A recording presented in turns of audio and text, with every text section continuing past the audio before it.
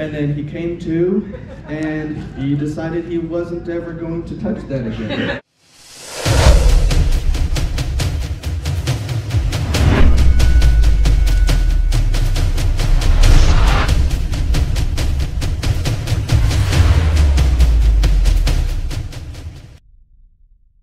Nick, come on up. Let's talk about fodder trees. Thanks, Nicole.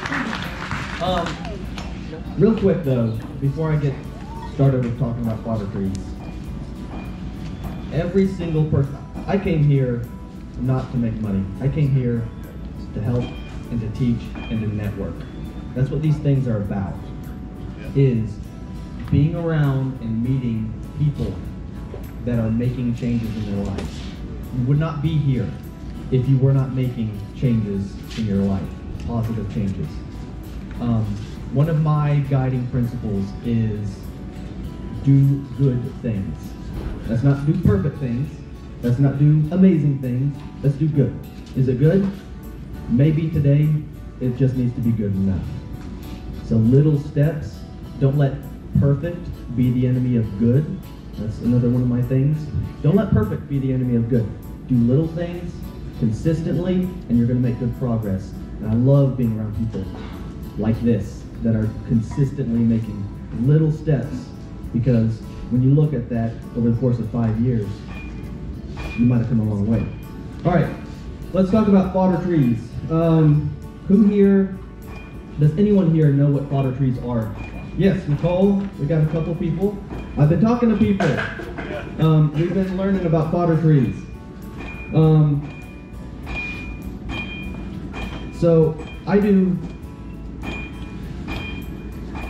ecosystem engineering is the easiest, simplest way I can explain this. I design an ecosystem to meet the needs of the client. That's anywhere from a quarter of an acre, little suburban lot, postage stamp type situation, all the way up to big NGOs, big multinational corporations all over the U.S., outside the U.S. You know, thousands of acres, millions of dollars in earthworks and moving dirt. Um, down to just troubleshooting. Hey, my pasture is just kind of crap and I don't know what to do about it. Um, and in all of these designs, all of these systems that I help people troubleshoot or build from the ground up, um, the question is always, you know, how do I how do I make this work if times are great? But what seldom happens is people seldom think, how do I make this work if times get tough? If things go sideways and a critical component of my whole system just isn't available. And I've designed everything around this one component that everything hinges on. I'm feeding my family. The most important thing is, are they fed? Because if they don't get fed, they die. Can we feed our family? That's why we prep. That's why we buy rice and beans or whatever. So we've got chickens, we've got rabbits, we've got goats, we've got sheep, and the whole idea is I'm feeding my kids, I'm feeding my wife, I'm feeding my family. Maybe it's I'm feeding my crew. If we can't feed them, we got big problems, right? So if everything is designed on I'm going to the feed store and I'm picking up a ton of feed every month, what happens if that feed store doesn't have feed? What happens to all your animals? We have a cascading set of failures built into the system from the foundation. Because if you can't get that feed, you're screwed. So, we have animals, they eat plants. We can grow those plants. We're buying 12% protein feed, maybe 20% protein feed to feed our livestock, right? Most animals need around 16% protein. So what can we do to supplement that if times are good? Or if times get bad, could we potentially do this without these modern conveniences of pelletized feed. So I started looking into that. And I found, of course, people have been doing that for thousands of years. It's only in the last really 100, 150 years that people forgot about it. There's an old, old technology. Literally, we have historical documented proof of this that reaches back like 4,000 years, five, 6,000 years. This is old tech. Old tech is sometimes the best tech. All right, so people have been harvesting or using animals to harvest leaves from plants to make meat and make fat. And that's what we need. We need meat and fat. There's no essential carb, sorry. Um, these animals are autonomous drones. They're four-wheel drive, all-terrain. Man, they are working hard 24-7 to grow you protein and fat. And they love it, and they are happy to do it. They're the best employees ever. As long as you can be smarter than a goat, you know, they're really good employees. So, we want to grow some leaves. So we can grow grass, right? We got some grass. It's a pasture. Everyone knows what pasture is, right? We see cows out there, sheep grazing on grass. One of the problems with that is it only gets so tall, and if they graze it down too much, they're getting down to a zone where, what did Nicole just say? Crap rolls downhill. Where all the crap is. That's where all the internal parasites are traveling up those grass stems and cycling through your animals and they're getting sick and losing weight and skinny, emaciated animals don't make for good food. We can have good healthy pastures, but what if we add some some trees, right? We've got some trees and they're growing branches for us and they're casting shade. Shade, especially in the south, means we've got grass that's going to grow better. You ever observed, you see a, a tree out in the middle of a pasture and it's a dry part of the year, but there's kind of on the east side of that tree, there's kind of like a, a green little cloud. That's green grass and stuff growing kind of on the east side of that. I'm like, oh, I wonder why that is. It's given a little bit of shade. You see these beautiful parks. We see these beautiful, you know, it's grass underneath and trees dotting it. And the trees look gorgeous and healthy. And the stalk is gorgeous and healthy and sleek and fat. We got nice pasture. Kind of that park setting, that's called a silvopasture. And I think there's something inherently in us that just connects to that. When we see it and we think, man, that's just gorgeous, that's that's right, that's good. And it just there's something deep, innate, maybe ancestral, ancestral memories or something that just really connects to us. That kind of system was used for thousands of years. They would go through and they would chop the branches off. And those branches would fall down and they hit the ground, and those animals would eat those branches. This is called pollarding. And then they would say, hey, you know, we gotta cook. We gotta cook the meat, and we need some some fuel wood. And you know, they didn't have chainsaws. So cutting down a hundred foot tree with a chainsaw and bucking it up into logs and using a hydraulic wood processor to split it all up that, that was labor intensive. That was tons of calories that you had to, to, to expend to cut that tree down and chop it up and split it. They didn't do that. They coppiced. They would grow a tree. You got a tree. You got a whole bunch of trees, and they grow up, and then they cut those trees off in the winter, and then in the spring, let's get a different color here in the spring, we would have a whole bunch of shoots come up. Right? I'm sure we've all seen this. We've all seen timber company come through and they cut a whole bunch of stuff down and they leave a whole bunch of stumps. And the next year you see them sprout up like this. Everyone's seen crepe myrtle murder? See these crepe myrtle trees and they just butcher the tops of them? People get all upset about it. They're murdering the trees. No, they're pollarding the trees. That's all tech. Pollarded trees will sometimes live for a logarithmic scale that's like times 10 years longer than a tree left by itself. That doesn't sound like murdering a tree. That sounds like uh, What's the word you say? Pollard? pollard. P-O-L-L-A-R-D. There's, there's two styles of management. We got pollarding and coppicing. Pollarding is cutting it off right here, and you let these sucker out, right? So we got shoots coming out of these kind of knots that'll form. And they make beautiful trees. I mean, gorgeous. They look ugly in the winter because you got these, you know, kind of lumps and it'll stop. But then when it suckers out and it fills in, it's just gorgeous. And in the summertime, when you're looking up there, you think, man, that's the prettiest tree I've ever seen.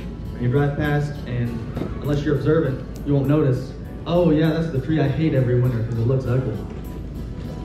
They're pollarding it. So coppicing. All of this growth is first year growth. It's going to be the most tender, the most succulent. It's going to have the highest amount of sugar in it. It's going to have the highest amount of protein in it. The inner bark on this will be edible to most of these herbivores. It's going to have a ton of protein and sugar and good stuff for them. They're to love it. So we can go through and we can cut all of this stuff. We let this grow. Um, every tree grows at a different rate, depends on sunlight and nutrition in the soil and how much water it gets, and just inherently some of them grow faster. Hybrids normally grow faster. They grow faster and taller and quicker. Um, some trees grow really slow. Dogwoods grow really, really slow. They've got tight grain. You know, if you ever cut down a tree and it's really tight lines in that, that grain, it's a slow growing tree. It's really big, thick lines in between the, the white and the dark, fast growing tree. So we want, for a system like this, we want fast growing trees because we want them to shoot up, make tons of biomass that we can harvest, feed to our animals, and turn into fuel wood, whatever. And and so ideally, you know, if we're looking for optimal protein synthesis, we want to grow some hybrid trees. So things like hybrid willow, hybrid poplar, those are two of the fastest growing trees that I know of. Um, Paulownia is another really fast growing tree. Um, but there could be some issues. I try to make this as dead simple as possible, as difficult to screw up as possible. So I say hybrid poplar, which is a cottonwood, and hybrid willow, it's just a willow species crossed with another willow species. They grow really fast. I don't know of any domestic animals that cannot eat both of those. Okay, so they're pretty much dead simple. If you're managing them well, they're gonna produce tons of food for you. All right, and so we let that grow up. Um, we let it grow maybe for one, two, maybe three years before we start cutting it off to it, uh, just like this. And then it'll send out a whole bunch of shoots. And then we're gonna let those grow until early summer, maybe middle of summer. And then we're gonna cut them off at about 18 inches. And we're gonna take all this top stuff, right? We're gonna cut all this off. Some of them will grow a little bit better. And we're gonna put it all in a barrel, right? We can shred this up, or if you want to dry it and make hay, tree hay, this is old, old tech. They would actually cut this stuff and they would tie it together in sheaves and they put it in the shade and dry it just like hay. And we have pictures from, gosh, I mean, we have pictures of people doing this in Europe. They're still doing it in Europe, okay? They'd harvest this and dry it and then feed it to their livestock just like we would do hay. We cut grass hay, we can cut tree hay. Or we can actually pre-digest this stuff by fermenting it. Everyone knows about fermenting. You know, we ferment pickles, we ferment uh, kimchi and sauerkraut. There's a whole bunch of traditional foods that are fermented. And that fermentation process breaks down the food and makes it easier to digest. So we get more food value per bite, right? And so if we're talking about raising livestock, what do we want? Do we want to waste time and money and effort? No, we want to get the most production as we can and have the healthiest animal. Because if we have healthy food, we're going to be healthier, right? So I think one of the best ways, and I'm into preparedness. I want to make sure that I can handle the things that life throws at me. So I want to be able to store this food. And if we ferment it with a silage making process, you know, we've got like a two year shelf life on this stuff. And on top of that, we get higher protein.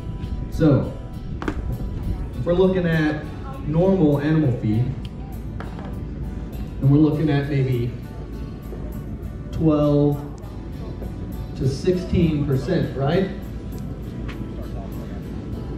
That's the target for most, you know, commercial feed.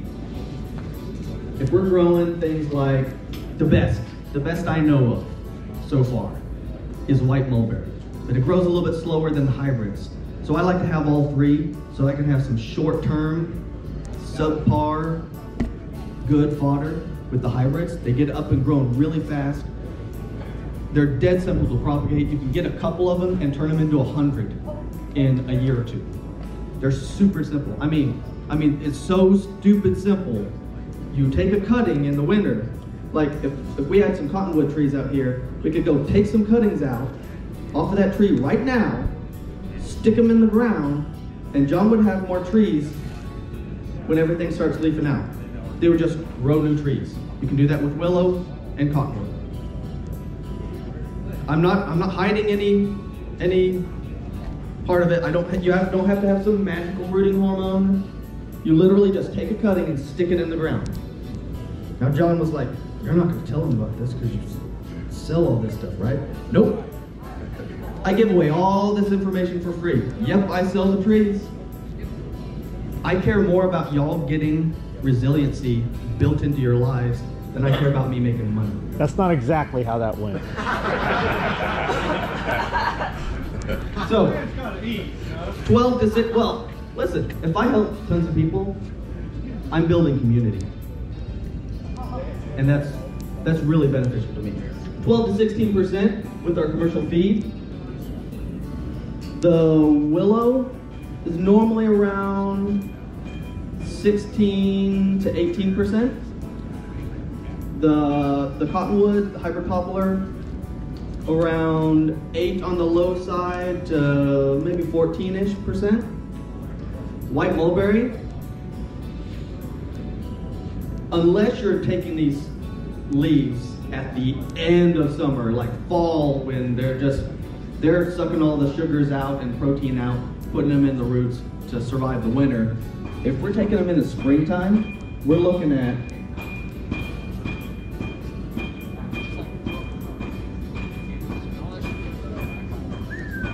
Twenty-eight to thirty-four percent protein. Now the reason being is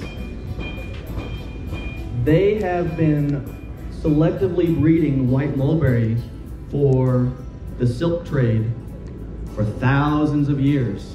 And when you've got these insects eating these leaves,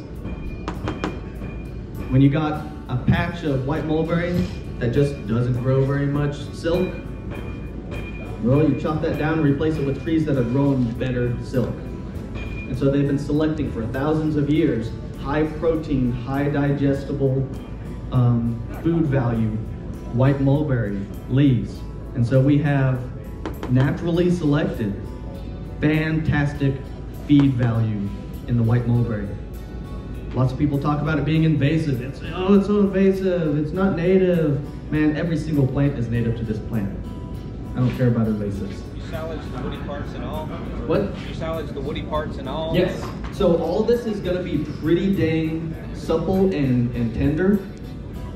Most leaf shredders, not even wood chippers, most leaf shredders can handle this stuff. Did You just get a bag or something. Yep. You can, uh, they, they make these like clip where you clip the bag onto it and you can just run the, the sticks down in there and it'll just shred them and it shreds directly into a, like a contractor bag, you know, that thicker heavy mill plastic in a 55 gallon drum. It shreds it in there. You put about 12 to 18 inches in there. You got a five gallon bucket set off to the side. You want a little bit extra sugar so that uh, lactobacillus will convert it into acetic acid, vinegar, right? We're pickling this stuff. And so we'll get one kilogram ballpark, two and a quarter pounds of molasses. Just weigh out two and a quarter pounds of molasses into a bucket, pour some hot water in there, mix it around, dissolve it, and you've got a dissolved molasses slurry. Um, that's gonna go into this whole barrel. So you put up about 12, 18 inches of the shredded leaves in there, sprinkle some of the molasses water on top, smash it down, pound it. We want to get all the air out, we want to smash that stuff in as tight as we can. We want as little air and as much plant matter as we can. Smash it down, put some more in. Smash it down, put some more in. Keep doing that until you fill it all the way up. Get yourself a shop vac and close that bag up. Stick the shop vac right on it and suck all the air out. Pull it down. Spin it tight. Tape it up. Slap a lid on it. Put the date that you closed it up. Month and a half. Normally it takes at least a month and a half. Depends on temperature. I say give it two months. Give it two months before you try and pull anything out of there. Or if you don't need it, leave it sit. It can sit in there for a couple of years. You've got a couple of years shelf life of high protein feed. Now I'm not saying during the wintertime you feed this straight to your animals. You need to cut this. There, this is concentrated feed. This is like buying soybean meat. Like this is protein levels that you get out of soybean meat. You would not just feed, you know, five pounds of this per animal. They get a little bit, and you know, monitor the body condition, but they're eating two to six percent protein hay or forage that they're just finding out in your, your pasture. And then they're getting a little bit of this. With this kind of system, we can be taking small, fresh leaf harvest and some some dried storage material and feeding rabbits. We can grow rabbits for free with just our time and a little bit of effort. Rabbits, uh, breeding pair of rabbits, uh, breeding trio of rabbits can put out, I think it's somewhere around four or 500 pounds of meat with an intensive uh, breeding cycle. That's a lot of meat for two females. Okay? If we're feeding dogs, rabbits, and a little bit of chicken, that goes a long way towards feeding a 24-7 security detail. I like having a security detail, constantly monitoring and protecting my flock, my poultry, my kids, my wife. If I'm gone, I've got a security detail watching over my kids and my wife all night long. Takes a little bit of food. So, if we set something up like this, that means if if times get tough, we can feed our critters. If times don't get tough, how much work is this? Do I have to do this? Do I have to keep doing this? If I'm busy with work or whatever? Nope, absolutely not. You know how easy this coppice system is to manage? John's going to be planting, how many did you buy? Uh, 350, 400. Okay. He's going to be planting hundreds of trees right up here. I'm planting about 2,000. I'm planting, I think it's 1,800 to start with, it might be more, uh, on a quarter of an acre. 1,800 Yep. This far apart. Yep, about six inches apart. I've got I've got figures. I can't remember what they are off the top of my head on um, how many tons per acre that we can pull off of digestible protein. I've got all that stuff. If you're interested, I can I can email you. You can go to Feedipedia, and and they have like tabs at the top. If you go to Feedipedia and look at white mulberry, there's tabs at the top. Like the second tab over is like nutritional info or something like that. Um, and they've got tons of white papers and studies, like institutional uh, studies that have been done on this.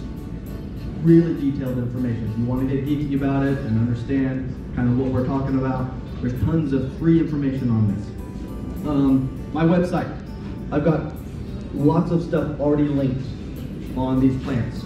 RarePlantStore.com. You can see the types of trees I recommend. I don't care if you buy them from me. I sell out every year in like a week. I don't care if you buy them from me. In fact, I tell people, you know, a lot of people in this homesteading sphere, they're doing things on a shoestring budget. And I feel it, because I've been there. Some of this stuff is growing where you live. Learn to identify willow and cottonwood. You, I mean, anything in the populus genus is pretty much gonna be close to the same thing. Any, almost anything in the in the salix genus, the salix, the willow genus, those are probably gonna be pretty dang close. They're not gonna produce as well, maybe not high protein. You probably have white mulberry growing somewhere in your region. If you learn how to take cuttings off of those and root those under a mist, a mist system's really simple to set up. Free, free detailed instructions on how to do that on YouTube. You can take cuttings off of those in the springtime, late spring, early summer, and stick them under a mist system and grow hundreds of those white mulberry from something you find at a local park. Okay? So you can do this for free. Or you can wait till next winter when I actually have stock and and you could get stuff that you know for sure. Like that's one of the only good reasons to buy it directly from someone is you know for sure. If you don't know how to identify this stuff, you can buy it and you know positively. And then you say, oh yeah, I've got two of those right over there. After they leaf out. You have problems with rats getting into the contractor bags? No, because it's inside a 55 gallon drum. Oh, okay. I missed that part. Yep, it's inside a drum, and then we just use the, the plastic bag to keep the air out of it. Will rats and squirrels want to get into it? Not really. Um, I've, I've heard of it very rarely, but I think it's more of they just, there's something there to chew on, so they start chewing on it to investigate. They're curious, and they, they, they're looking for food. Um, it, it doesn't stink, it smells sweet, and your animals go nuts over it. Um, so it increases the digestibility, and it, it'll actually break down some of the lignin and cellulose, the fiber that make it difficult for non-herbivores to eat this stuff, chickens and ducks. So you can actually bump up the amount of this that chickens and ducks will eat um, by fermenting it like this. How much time? Ten minutes. 10? Cool. What about ear pressure on, uh, on your area? Dogs. Very good question. So, I partner with my dogs. My dogs are integral to a good, efficient system. Dogs are on task all the time. Donkeys kill things if the thing comes after them. Um, llamas, the same thing, they're just kind of dicks. Geese, they're just kind of dicks. Um, dogs, depending on what livestock guardian dog or what type of dog you have, some of them they'll just kind of bow up and they'll kind of threaten the threat and, and say, hey, hey, you better you better back off, or I'm gonna tangle with you and you don't want that to happen. And they'll just stand there at that fence and just bark and bark and bark. Right? I don't like that. Um, that's typically more of the Pyrenees style of doing things. I like Pyrenees, don't get me wrong. Um, I like the Anatolian because they're more aggressive and they'll just go out there and end a threat. But I like the livestock guardian dogs that'll kind of just, they see the threat and they'll just kind of melt back behind a tree and they'll just stand there and wait. Come on, buddy. Try. And it hops over the fence and it gets about 10 yards in. And then two livestock guardian dogs from different sides pincher and. They end the thread. I like that. Because then I, I'm like, all right, That guy's not coming back next week. That threat's over. Right. Um, then, I, then I have a, a, a dead critter that's going in my black soldier fly bin. The black soldier flies are turning that into high quality protein and fat for my chickens and ducks. And then uh, I get to take what's left and put in the compost heap that that I don't turn. You can ask me about not ever turning compost again. I hate turning compost. Um, I will never turn a compost pile again in my life. Um, and then we can uh, kind of recycle all of that back in. But as far as deer pressure, this is high, high sugar, high protein stuff. They love it. Um, if you do not have dogs, then what you need are electric bees. Anyone have electric bees? Nicole has. Oh yeah, Ken. We have some people with electric bees. You want a fence energizer that plugs in to the AC, not one of the solar things. The solar ones are always very low power. I've never seen one with a good amount of zap. You want at least three joules being delivered through that line. If you can get six or eight, that's much better. You eight joules of electricity will arc out about that far and will jump out and bite you. Um, little quick story. My brother, um, I won't say which one in case he sees this video. Um, he saw, you know, a little lightning bolt popping out of my electric fence. And he was like, hey, I'm gonna play with that. It just rained, and there was a little bit of debris on the insulator, and it was popping from the wire to a little bit of wet leaf or something.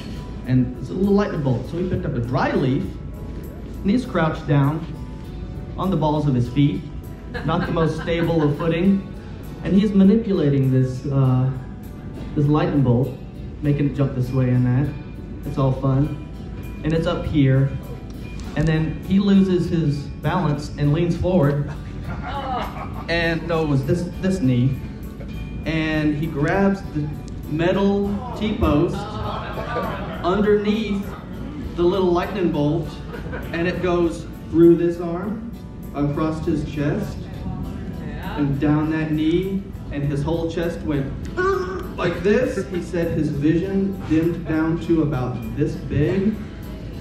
And then he came to, and he decided he wasn't ever going to touch that again. and and I use that as an illustration. Um, if you have enough of a bite on that fence, any sane creature is going to decide, you know what? What's on the other side of that's just not worth it. Um, we can understand intellectually that's not going to hurt me. But I challenge you, even if you know that's not going to damage me, just walk through it anyways and just get zapped. Go ahead. Go ahead. it is tough to psychologically just force yourself to experience that and undergo that. It's really tough. It's even tougher for an animal who can't, you know, think about this stuff and reason through it. It's even tougher for them. So get get a fence energizer that has enough bite to convince any critter that you don't want to be there, four-legged or two-legged, that it's not worth what's on the other side, and that that problem will go mostly away. Um, canines love peanut butter and bacon grease. You can take, unplug your fence, of course, first. You can take aluminum foil, fold it into kind of like a flag, wrap it over that, and then smear some peanut butter on it, or bacon grease, and you put it at the nose height of whatever critter you're trying to deter, and they're gonna come along, scouting around, they're gonna smell that, and they're gonna go up with their wet nose or their tongue, and they're gonna lick that thing, and those electric bees will just materialize from out of nowhere and kick their rear end, and they're gonna run away in terror at the electric bees that live here. And whatever that is, it's not gonna be worth it. Okay? It can be deer, peanut butter, applesauce. You can take applesauce and kind of render, not render it down, uh, reduce it down, cook it a little bit just to get a little bit stickier. You can smear applesauce on it. They actually sell aluminum bait cups with a little scent, a little felt scent pad, and you can drip a little bit of scent pad in there. Like And- peanut butter too. Yep, peanut butter, yeah. And so you can do stuff like that and and hang that on your fence. And what I would do if I was deterring deer, I like to go about 12 feet, give or take, from the things that you're trying to keep them away from. And hang those scent cups every 12 to 20 feet. And then they'll come in and normally deer will travel in, in little groups. And if one gets zapped by electric bees, and jumps up 10 feet and runs the opposite direction, the others aren't to wait around to wonder, huh, wonder what happened to Bob. They're going to say, well, crap, Bob's running from something, we need to run away. And they're going to learn that this place is not safe to be. They're going to start avoiding that. If that happens a couple times with that same herd of deer, they're going to start changing their patterns and they're going to go around that dangerous area. And so they'll just they'll just leave your stuff alone. Any other questions? Where are you leaving the barrels? Out in the sun or covered, shaded?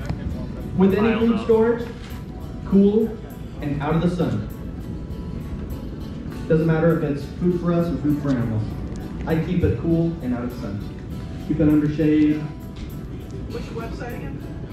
Um, I've got a couple websites. So the plant website is rareplantstore.com. And then my main website that you can get a hold of me for consulting or um, I did a podcast for like a year. Um, my podcast episodes are still up there. Um, and that is homegrownliberty.com.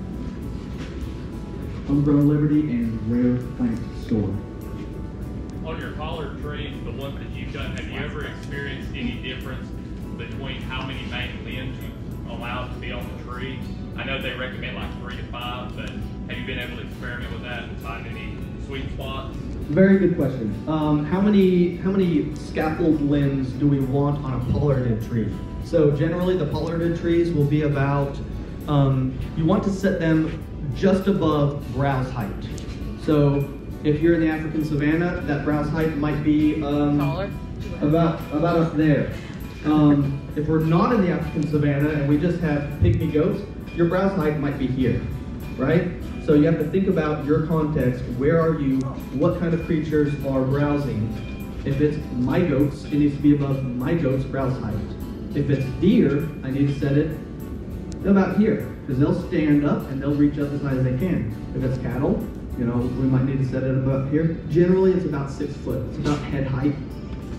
Um, and generally, four-ish limbs is good. Six is fine. Um, once you start getting more than that, you start kind of crowding. Um, if you have, you know, three, four main scaffold limbs and then some some secondary scaffold limbs coming out, that's fine. Um, it really just all depends on your context, how big the trunk gets. The bigger that trunk gets, the more limbs I'm going to allow off because I'm going to be able to branch out um, further and further and capture more sunlight and capture more more um, water. Yeah, man, I'm talking about one of the to try. My family, SOE, got the tools to survive.